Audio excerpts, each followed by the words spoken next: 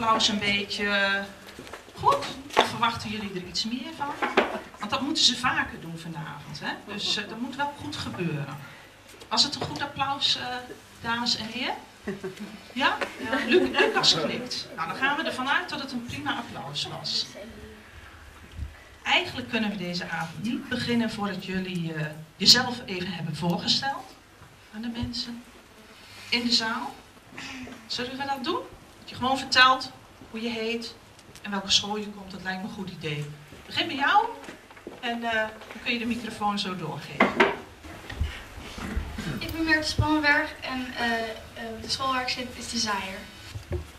Ik ben Tessa Lorije en kom van de Geneemstra School. Ik ben Sofine Wijvank en ik zit op de Jasper School. Ik ben Demi Schelhaas en ik kom van de Vloemende. Ik ben Milie van Omme en ik kom van de Sint-Andreas. Ik ben Lucas de Groot en kom van het palet. Zij hebben al kennis gemaakt met uh, nog een paar heel belangrijke personen van deze avond.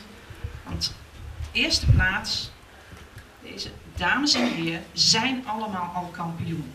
Kampioen van hun eigen school. Wat gaan we vanavond doen? Bij de lokale voorronde dan gaan we bepalen wie de voorleeskampioen van de gemeente Hattem wordt die gaat dan weer door naar de regionale finale in Apeldoorn.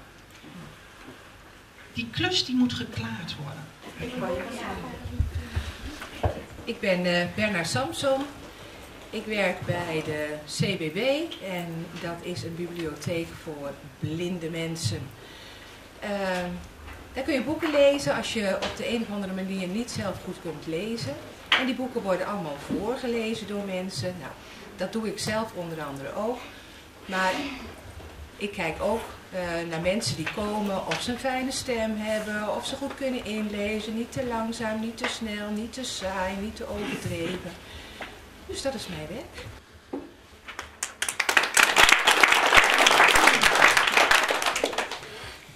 Uh, mijn naam is Mieke Nessi en ik werk uh, bij de Bibliotheek Noord-Veluwe. Ik werk hier in de eens, maar ik ga ook wel naar scholen toe. En uh, daar doe ik uh, heel veel voor kinderen om het leesplezier, vooral het leesplezier, te bevorderen. En ik ben een collega van elkaar.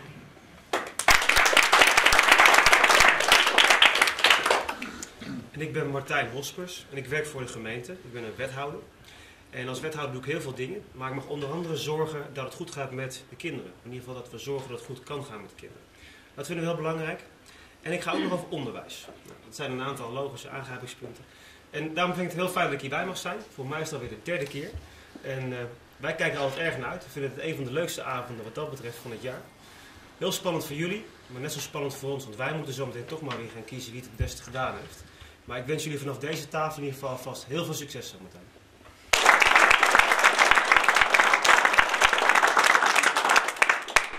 Hoi, ik ga een stukje voorlezen uit het boek Dagboek van de Muts, deel 10, Puppy Oké, ik heb echt mijn best gedaan om er beleefd onder te blijven. Maar sorry, ik kan er gewoon niet meer tegen. Als ik de naam Mackenzie Hollister nog één keer hoor, ga ik gillen. Ik kan nog steeds niet geloven dat iedereen op deze school nog steeds over haar praat. Het lijkt wel een obsessie of zo. Als Mackenzie was, zouden ze dat super vinden. Als Mackenzie was, zou ik dat haten.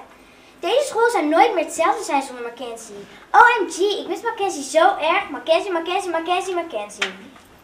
Ah, ik krijg een complete zenuwzikking omdat iedereen steeds over Mackenzie praat. Luister mensen, Mackenzie is al een hele week weg. En ze komt niet meer terug.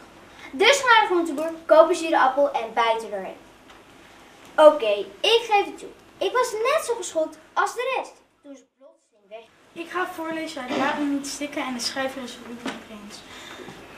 Um, het boek gaat over een jongen genaamd Chris, waarvan zijn biologische moeder, die hij nooit heeft gekend, laatst is overleden.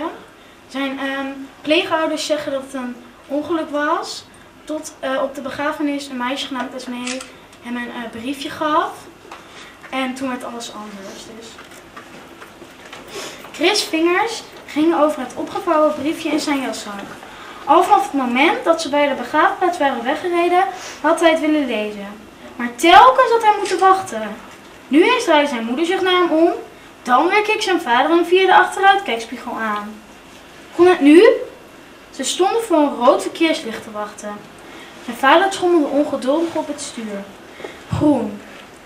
De motor loeide toen de vader van Chris het gaspedaal vol intrapte. Ze rode slippend door de sneeuw vooruit, duwden een fiets weer de stoep op en verjaagden een paar voetgangers van een zebrapad. De moeder van Chris keek angstig opzij. Normaal Uh, mijn boek heet Sjaakje in de chocoladefabriek.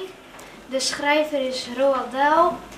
En mijn boek gaat over Sjaki, die eigenlijk Jacques heet. En hij vindt een gouden toegangskaart in een reep chocolade. En dan gaat zijn diepste wens in vervulling. Hij krijgt een rondleiding in de geheimzinnigste chocoladefabriek ooit. En van meneer Willy Wonka. En meneer Willy Wonka die is de meest eh verbazingwekkendste, geweldigste chocoladefabrikant ooit. En ik begin bij het hoofdstuk alleen Sjaakje nog over. En welke kant zullen we nu eens nemen? zei meneer Wonka, terwijl hij zich omdraaide en de lift insprong. Vooruit, opschieten, we moeten weer verder. En hoeveel kinderen zijn er nu nog over? Kleine Sjaakje keek opa Jacob aan en opa Jacob keek Sjaakje weer aan. Maar, meneer Wonka, riep hij uit. Er is, er is alleen Sjaakje nog maar over. Meneer Wonka. Ik heb het boek Ongeruld gekozen. Het is een grappig en avontuurlijk boek. De schrijver is Fiona Recht. De hoofdpersonen zijn Pum en Yannick.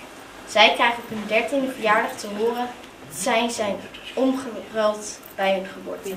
Ze gaan op onderzoek uit in het ziekenhuis wie er nou heeft omgeruild en dat stukje ga ik voorlezen. Pum deed zo kwaad dat ik voorstelde om eerst in mijn eentje naar binnen te gaan. Ik heb bij de balie van het ziekenhuis uitgelegd wat er vroeger gebeurd is. En gevraagd of we met iemand konden praten die op die dag van onze geboorte had gewerkt.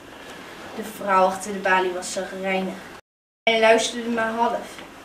Ze krabbelde een adres, een papiertje en zei: Je kunt een brief sturen met een schriftelijk verzoek voor een gesprek met het hoofd van de kraamafdeling. Ik liep ermee terug naar Plum. Zelf wilde ik meteen weer weggaan, maar zij was niet van plan zich zomaar weg te laten sturen. Wacht maar, zei ze. Hallo allemaal. Mijn boek gaat over Meester Kees pittig klasje. Ik heb dit boek gekozen omdat Meester Kees nu echt voor het eerst in de klas komt. En dan helpen de kinderen hem en hij helpt de kinderen en dat is heel apart. Ik vind dat heel goed geschreven. De schrijfster is Mirjam Onderhaven. En nu ga ik een stukje voorlezen. Omeletje. Op maandag kregen wij een nieuwe meester, want die van ons was zwanger. Nou ja, die heeft dan. Ze had vorige maand verteld. Ik ben in verwachting, zei ze. Oh, zei Winston streng. Dan hebt u gedingest. Winston had het altijd over dingessen.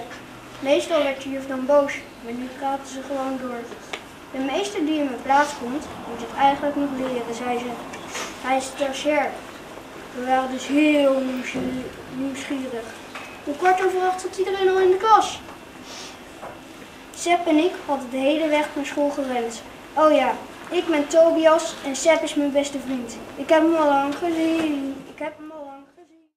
Ehm, ik heb eh, het eh, boek Dagboek van de Muts Er Was Eens. Dit is deel 8 en ik heb het boek gekozen omdat het een eh, boek is wat ik heel erg leuk vind. En je kan er, het is een verhaal wat je makkelijk kan en snel kan begrijpen. Ontbijtstrijd. 7 uur 5, 5 voor half 8. Echt waar, ik was zo pissig dat Brianna mijn wekker...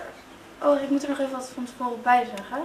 Ehm, het gaat dus over, dit stukje gaat over twee meisjes die ruzie met elkaar hebben in de ochtend, want een heeft de wekker van de andere gejat. En die eh, eh, is dus nu een beetje boos. Dus, en want die komt namelijk niet te laat. Oh, ik was zo pissig dat Brianna mijn wekker had gejat, dat de stoom zo ongeveer uit mijn oren spoot. Ik wilde haar het liefst in een grote doos proppen, in haar prinses suikerpruim eiland verschepen, waar ze poepschepper kon worden voor al die schattige baby-eenhoorntjes waar ze dol op is. Brianna, heb jij mijn wekker weer gejat? gilde ik. Als ik te laat kom op school, hè? Als ik te laat kom op school, hè? Kom, hè? Is het jouw... Ja, beste kinderen, dit is wel een heel spannend moment. Want jullie hebben dat al gewonnen op je eigen school, maar wie mag zich nou de beste voorlezer of voorleester van Hattem noemen? Dat is wel een spannende. Nou, we hebben met de jury goed gepraat. Dankjewel aan mijn collega's van de jury voor deskundig advies. En ik moet zeggen, het is best heel lastig altijd. We moeten op heel veel verschillende dingen letten.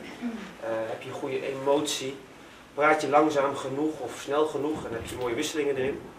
En daar hebben we allemaal naar gekeken. Alle onderdeeltjes bekeken of je een mooi boek had. En uiteindelijk hebben we elkaar goed in de ogen gekeken. Wie vind jij nou dat er moet winnen? En wat wel bijzonder was, is hoewel we het moeilijk vonden, vonden we alle drie unaniem dat deze persoon moest winnen. En ik ben dan ook blij dat ik mag meedelen dat van dit jaar de winnaar van de lokale voorleeswedstrijd is geworden Sophie. Nijbuiten.